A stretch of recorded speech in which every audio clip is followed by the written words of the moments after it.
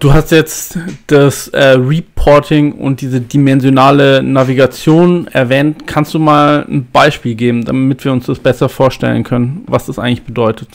Ja, genau. Also ich hatte ja äh, eben schon erwähnt, dass äh, zu OLAP eben nicht nur die besondere Struktur der Daten dazugehört, äh, mit bestimmten dimensionalen und Faktenstrukturen, sondern dass wir diese Strukturen dann tatsächlich auch benutzen können, um uns innerhalb der Auswertung eben dann tatsächlich auch durch die Daten durchzubewegen.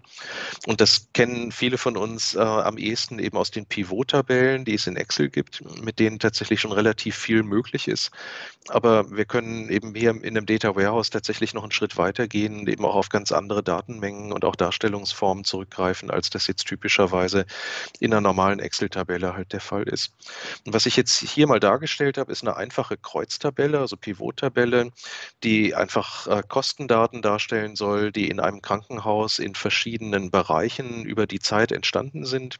Und wir sehen jetzt beispielsweise hier oben äh, bei den Spaltenüberschriften eben die verschiedenen Jahre, die dort eingeflossen sind. Wir sehen in den Zeilenüberschriften eben die verschiedenen Geschäftsbereiche, die das Klinikum vielleicht gehabt hat. Und in den Kreuzungspunkten sehen wir als Kennzahl, also diese Tabellen sind eigentlich eigentlich immer numerisch aufgebaut, dass ich zu den Dimensionen dann entsprechende Kennzahlen eben in aggregierter Form eben darstellen kann, sehe ich jetzt einfach die Kosten, die dort aufge aufgetreten sind. Und wir können jetzt an der Stelle eben einen sogenannten Drill-Down machen. Das heißt, wir sehen jetzt hier ja sehr, sehr hoch aggregierte Daten, eben ganze Geschäftsbereiche gegen ganze Jahre. Und je nachdem, wo wir jetzt praktisch draufklicken würden in so einer Kreuztabelle, sehen wir eben dann eine Verfeinerung der Daten. Und das ist typischerweise eben beschrieben mit diesem Begriff des Drill-Downs. Das heißt, das Hineinbohren, das Detaillieren der Daten. Und das Detaillieren haben wir in dem Fall jetzt entlang der Zeitdimension gemacht. Typischerweise ist es so, dass wir uns damit dann eben auch für einen bestimmten Zeitraum dann eine bestimmte Ausprägung entscheiden und an genau der Stelle eben in die Tiefe gehen. Das heißt, 2012 wird jetzt ausgeblendet und wir sehen stattdessen jetzt praktisch die nächst tiefere Ebene unterhalb von 2011. Und das sind in dem Fall eben dann ähm, die vier Quartale, die wir innerhalb von 2011 haben. Ne? Diese Summe, die wir jetzt eben hier gesehen haben für die Verwaltung von 65 Millionen, die wird jetzt hier entsprechend eben aufge, aufgeteilt und detailliert über die vier Quartale, die eben die Verwaltung in ihren Kosten in dem Jahr 2011 gehabt hat. Und das wird analog eben auch für die anderen Geschäftsbereiche so durchgezogen. Und das würde man eben als Drill-Down bezeichnen. So ein Drill-Down können wir aber auch auf einer anderen Achse noch zusätzlich machen. Das heißt, wenn wir jetzt die Krankenversorgung anklicken, dann kommen wir vielleicht jetzt in die verschiedenen Fachabteilungen eben der Krankenversorgung rein und sehen jetzt eben für diese Unterbereiche, die wir dort eben sehen, die innere, die Chirurgie, eben jetzt die Aufteilung praktisch genau dieser Zeile hier. Die anderen beiden Zeilen werden ausgeblendet, ähm, wie die sich eben auf diese Fachabteilungen in den vier Quartalen eben aufteilen. Das bezeichnet man dann auch als Slicing und Dicing. Also wenn ich jetzt hier praktisch auf so einer Achse durch so einen Datenwürfel durchgehe, dann ist das ja ein Slice aus dem Würfel. Also das heißt, ich betrachte jetzt eben ein gesamtes Jahr, aber eben das für alle Bereiche, die hier eben aufgeteilt sind. Während wenn ich jetzt hier zusätzlich noch in die Tiefe gehe, dann führe ich ja praktisch auf einer anderen Dimension einen Schnitt durch meinen Würfel durch und dann würde ich das eher so als Dicing, also einen, einen Unterwürfel rausschneiden, praktisch bezeichnen.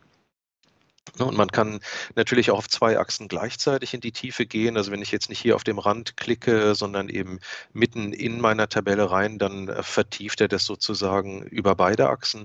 Und ich sehe jetzt beispielsweise eben aus dem zweiten Quartal 2011 dann die Einzelmonate, die in diesem Quartal drin sind. Und gleichzeitig ist eben hier die Chirurgie, weil die auf der Ebene lag, wo ich geklickt habe, entsprechend dann die einzelnen Kostenstellen, die ich vielleicht innerhalb der Chirurgie in diesem Quartal entsprechend gesehen habe.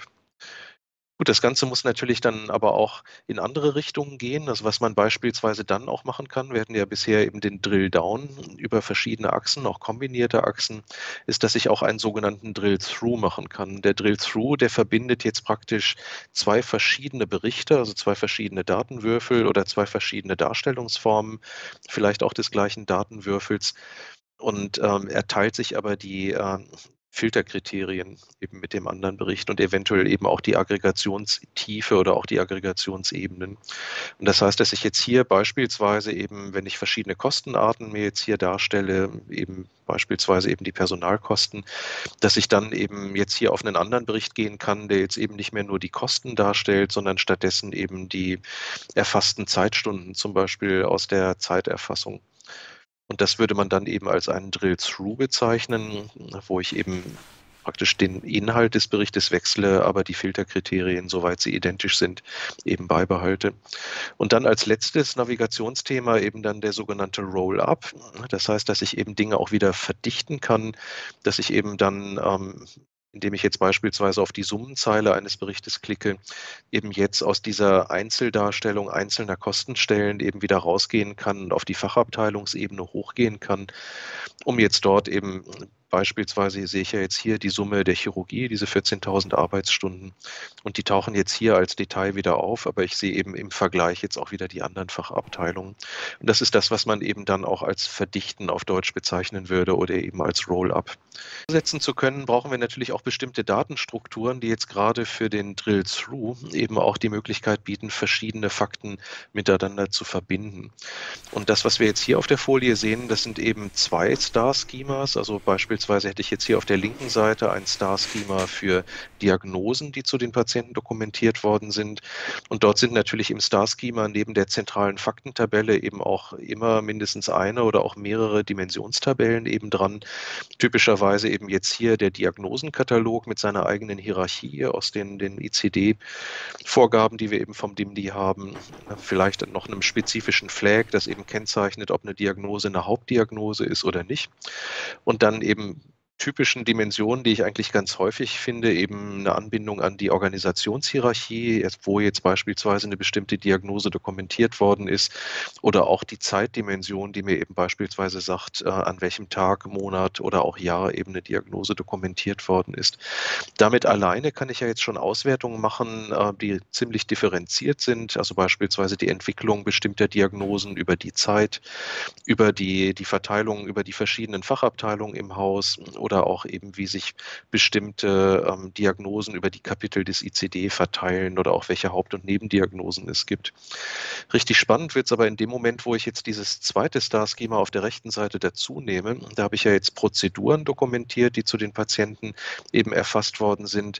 Da gibt es Kataloge oder Dimensionen, die halt spezifisch sind dafür, eben jetzt beispielsweise einen ähm, OPS-Prozedurenkatalog mit seiner eigenen Hierarchie, die wir vom DIMDI bekommen, oder auch einen Hauptprozedurenkatalog Prozedurenflag, das vielleicht sagt, welche der Leistungen oder Prozeduren, die dort dokumentiert worden sind, eben ausschlaggebend für den Behandlungsfall waren. Aber dann gibt es in der Mitte tatsächlich eben Dimensionen, die von beiden Star-Schemas verwendet werden. Eben ganz typisch die Organisations- oder Kostenstellenhierarchie oder auch eine Zeitdimension. Darüber kann ich jetzt tatsächlich eine Verbindung zwischen beiden Faktentabellen herstellen.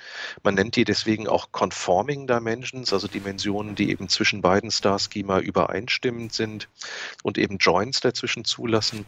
Und damit kann ich jetzt tatsächlich dann auch Diagnosen und Prozedurenfakten gleichzeitig verarbeiten, also beispielsweise sagen, für welche beispielsweise Operationen, die durchgeführt worden sind, sind denn typischerweise welche Hauptdiagnosen erfasst worden. Das nennt man dann auch Multifact Queries, also Abfragen, bei denen eben Fakten mehrerer Star-Schemas miteinander verwendet werden.